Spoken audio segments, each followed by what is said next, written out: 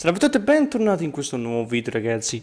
Oggi vi spiego come attraversare questo ponte invisibile per raggiungere la guglia degli eretici. Mi raccomando fate molta attenzione e equipaggiatevi di coltelli per, oppure palle lanciatele a terra per farvi strato ok?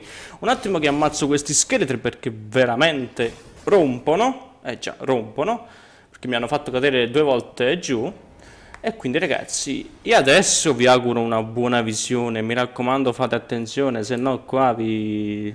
se cadete fate, vi fate a, a pancake, eh, vi schiacciate. Quindi fate con calma.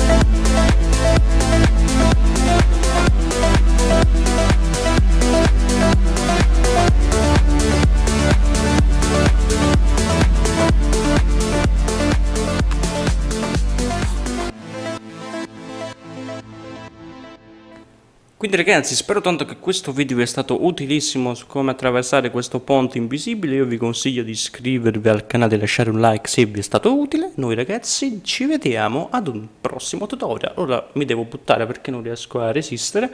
Quindi ciao!